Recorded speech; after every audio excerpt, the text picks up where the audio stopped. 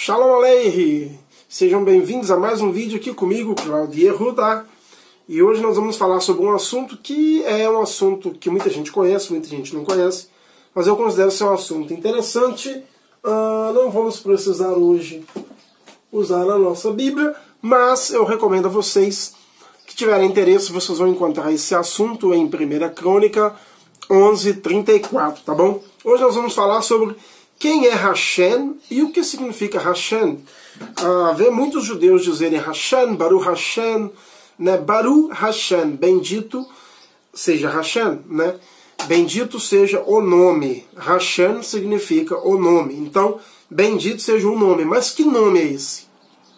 Que nome? Então, a gente vai ver. Ah, esse vai ser um vídeo bem curtinho, tá bom?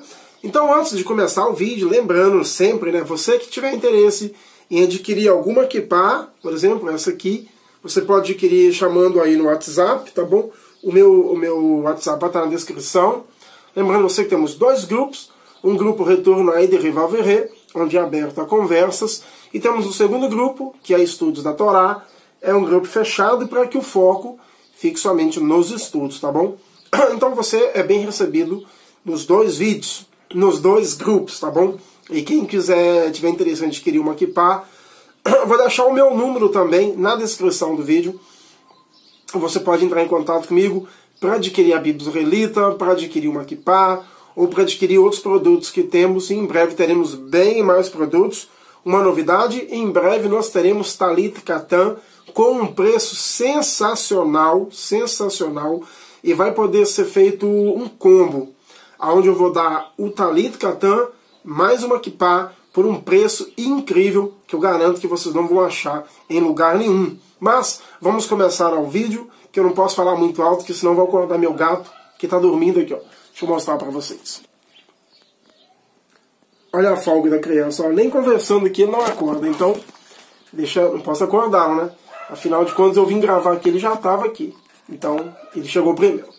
Bom, vamos lá. Tem pessoas que dizem que Hashem é um homem que é citado ah, em 1 Crônicas 11:34. Lá vocês vão encontrar uma pessoa realmente que chama Hashem. Mas Hashem tem um significado. Isso significa o nome. Então, quando diz Baru Hashem, significa bendito é o eterno, bendito é o nome. Qual nome? O nome do eterno. Muitos chamam o eterno de Deus, mas Deus não é nome. Deus é um título que vem de Deus e depois Zeus, né, que é Deus. Então, o Eterno não chama Deus. Deus é um título e é um título de origem pagã ah, do pré-europeu, do Deus, e posteriormente com Zeus na Grécia. Então, o Eterno, o nome dele não é Deus. Deus é um título de origem pagã.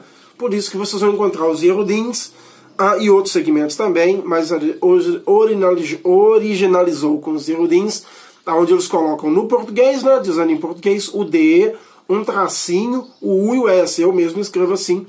Que assim a pessoa entende. Se você, você não escrever assim, as pessoas não vão entender de quem que a gente está falando.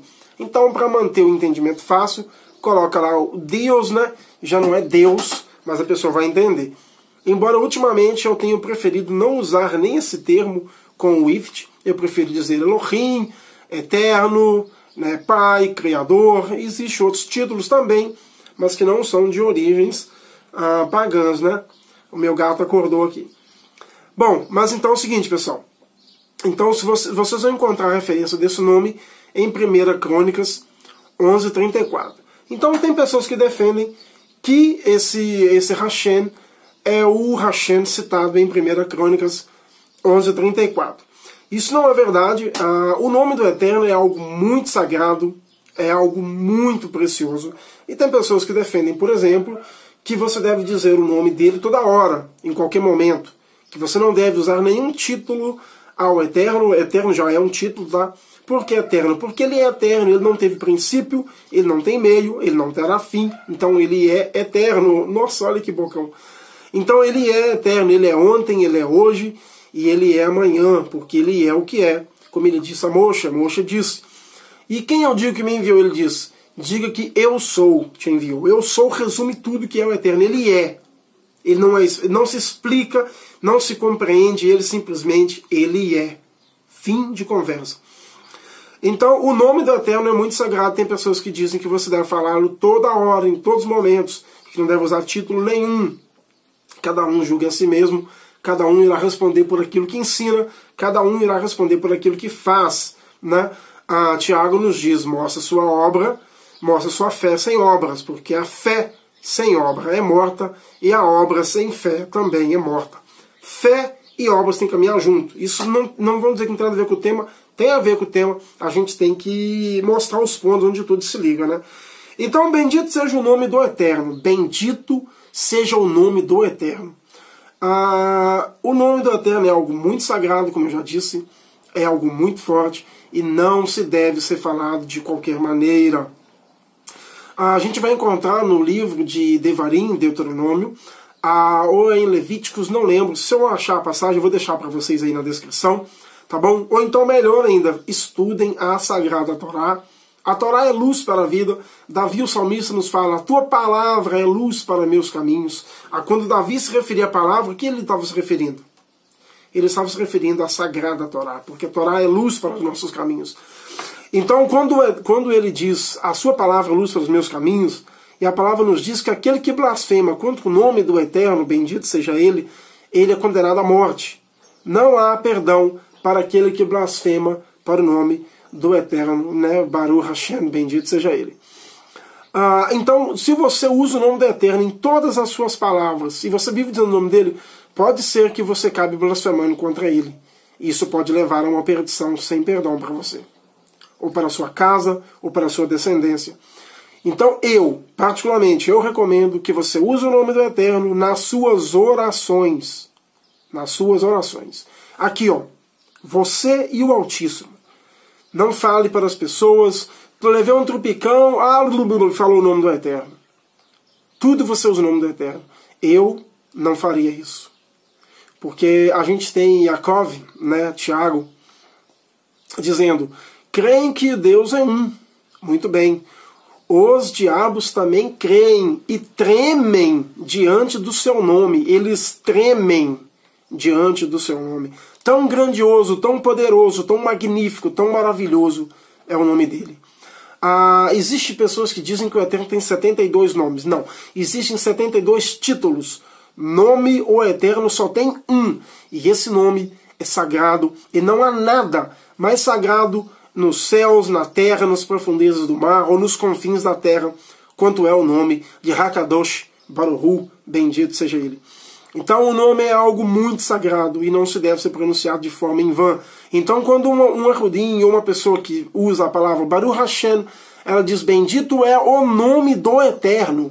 Ela não se refere àquele Hashem de Crônicas, 1 Crônicas 11:34.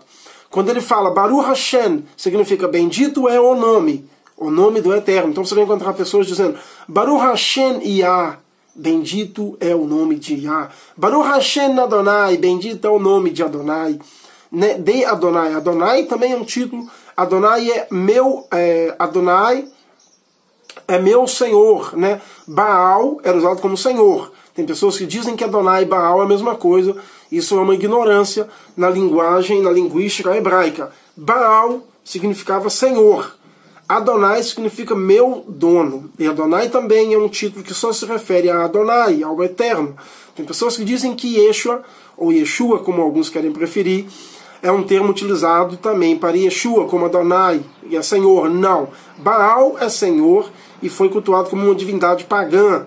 E muitos israelitas pagaram ah, caro por adorar a Baal, e não adorem a Baal. Então o Eterno, quando o povo chamou ele de Baal, ele disse: Não me chames de Baal.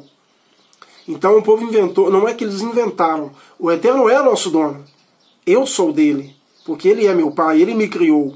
Então quando diz Adonai, é meu dono, não é meu senhor, é Adonai, meu dono, que é totalmente diferente de meu senhor. Quem afirma que Adonai e Baal é a mesma coisa, ou é um ignorante na língua hebraica, é uma pessoa de caráter duvidoso, tá bom? Ah, então, eu acho que o vídeo deu para entender, já estamos com 9 minutos e pouco. Lembrando que, quando a Baruch Hashem, quatro, como tem pessoas que ensinam ou que dizem que os judeus têm a boca suja e que chamam o Eterno por vários nomes pagãos, Não. Hashem não é um nome pagão, Hashem significa bendito é o nome, e na cabeça dele, ou na minha cabeça, quando eu me refiro a Baruch Hashem, eu digo bendito é o nome do Eterno. Bendito é o nome do Eterno. Eu não vou falar aqui o nome dele, pois o nome dele não se deve ser falado. Eu já falei algumas vezes aqui no vídeo, aqui no canal, na verdade. Ah, há pessoas que dizem que aquele nome que eu disse não é, não é aquele nome. Teve um querido irmão aí do Rio que me deu uma dica no nome do Eterno, bendito seja ele. Vou pesquisar um pouco mais sobre isso. Se for, eu não pretendo mais pronunciá-lo. Ah, eu sei que vocês precisam ouvir e saber qual é o nome do Eterno. Eu vou dar dicas para vocês, para vocês saberem onde está o nome do Eterno e como vocês vão encontrá-lo. Mas lembrando que aquele que blasfema contra o nome do Eterno, bendito seja ele, não haverá perdão para ele. E se você levar pessoas a blasfemarem contra o nome do Eterno, você também não terá perdão. Paulo, o Rav Shaul, né, não apóstolo, Rav Shaul, ele disse: Não sejam pedra de tropeço para ninguém. Então, se você está sendo pedra de tropeço para alguém, ou for, ou ser, você vai pagar por aquela vida. Então, não leve pessoas a blasfemar contra o nome de Hakadosh Baruhu, o Espírito do Eterno, o Espírito Santo. Então, lembrando mais uma vez que Hashem não é o homem citado em 1 Crônicas 34. Hashem é um significado ah, na verdade, Hashem significa o nome. Então, quando diz Baru Hashem, significa bendito é o nome, o nome impronunciável de Hakadosh Baruhu.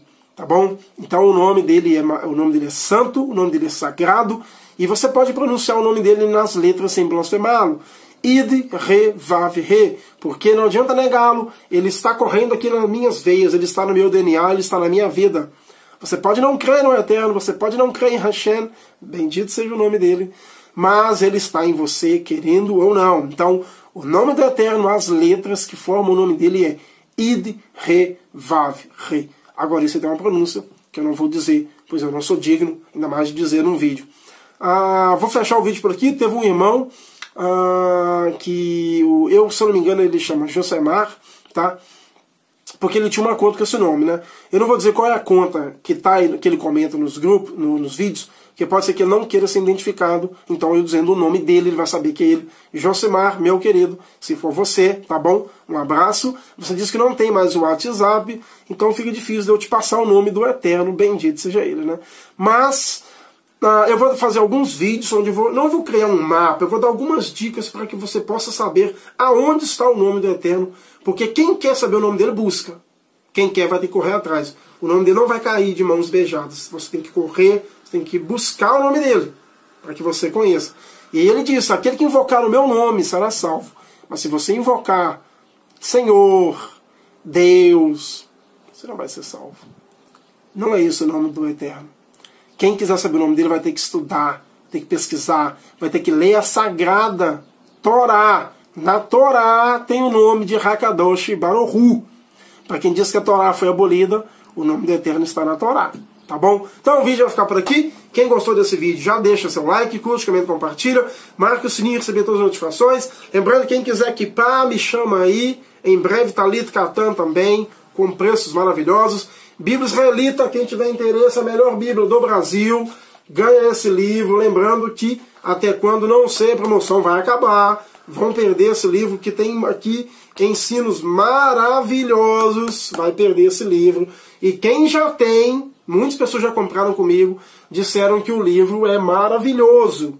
A Bíblia então nem se fala. A Bíblia é um espetáculo.